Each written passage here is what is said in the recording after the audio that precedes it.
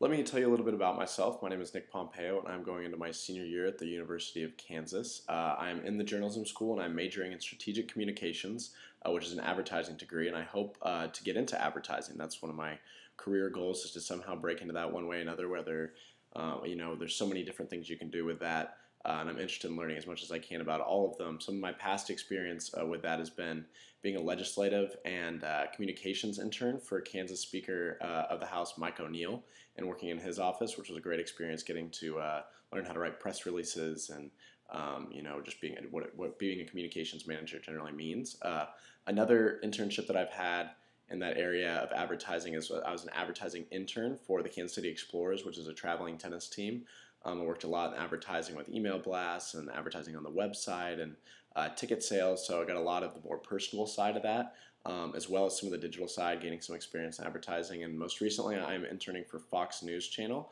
Uh, I'm an advertising intern, and I work with a lot of the ad agencies to email out uh, their clients uh, prices and upfront deals and everything that works and learning a lot of the technical terms on the digital side, on the internet side, uh, both TV and digital is, are the sides that I'm working on. So it's been a great exposure to the ad sales uh, industry, and I feel like my past experiences um, and past internships have all given me a different perspective and shed a different light on advertising and the world of communications.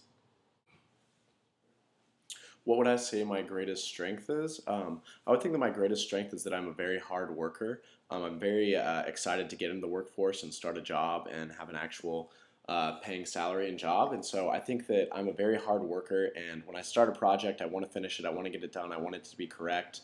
Um, and I want to make sure that my final product is something that I'm very happy with and is presentable. And I'm, I'm very dedicated uh, to making sure that happens and making sure all my work gets done before I leave the office. Um, that's one thing that I've noticed in my past internships uh, that I've done really well is just managing my time and working really hard to get things done and uh, in a way that makes uh, my superiors happy.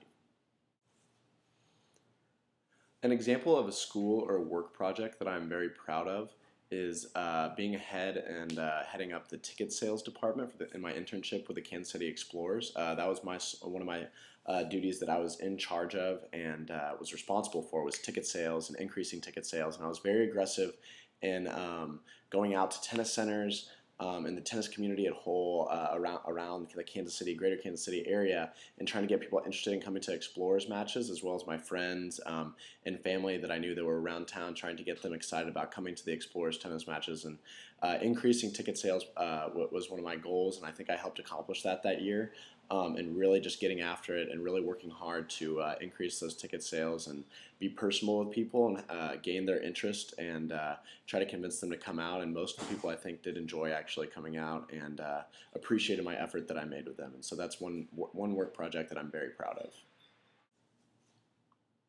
An example of me working under pressure, and uh, let me explain the result a little bit, was when I had an internship with a congressional campaign in the Wichita area, and I did a lot of cold calling for that campaign, cold calling uh, potential voters and seeing if they gained support for the candidate that I was working for.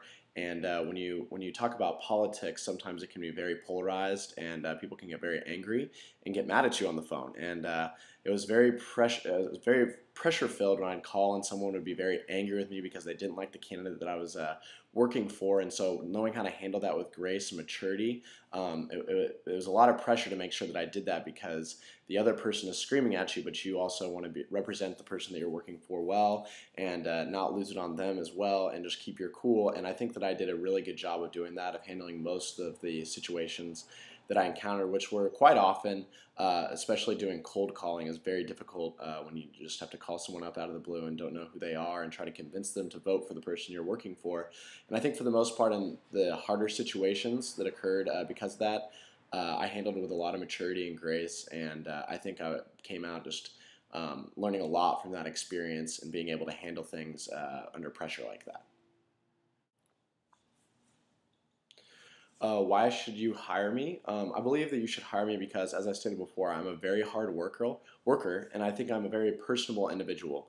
Um, you know, I, I, get along well with people, and I can conversate with them well and relate well with them, uh, which helps a lot in business transactions when you're talking to customers or uh, clients. Um, and and just making that connection with them and being having a good relationship and work relationship to be able to do business uh, smoother. And I think that uh, you should also hire me just because uh, I'm a very hard worker. Uh, I'm eager to get in the workforce. I'm eager to start uh, working and put the knowledge that I've learned in school and past internships to use.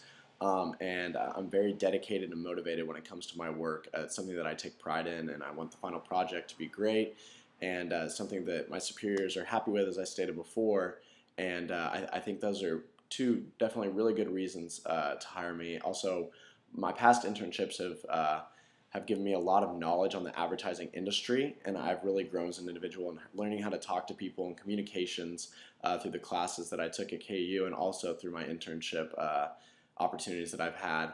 Uh, I, have learned a lot about communicating with people and how to be a better individual and a better worker for it. So I think those are some reasons on why you should hire me. Thank you.